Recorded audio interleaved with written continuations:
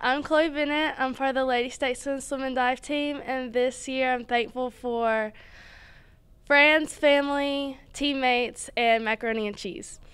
And my favorite Thanksgiving food is dressing and macaroni and cheese.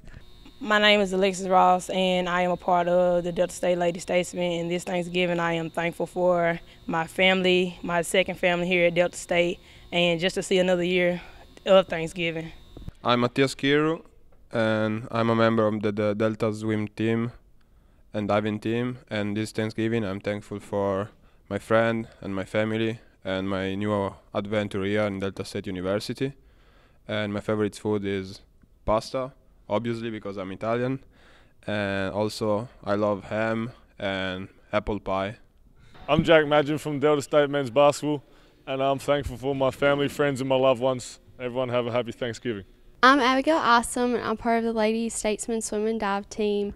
And this year I'm thankful for my family that supports me back home and my team here.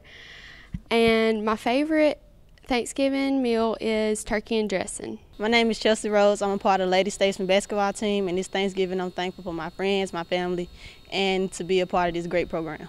Hi, my name is Nick Zorn. I'm a member of the Delta State Men's Swim and Dive team.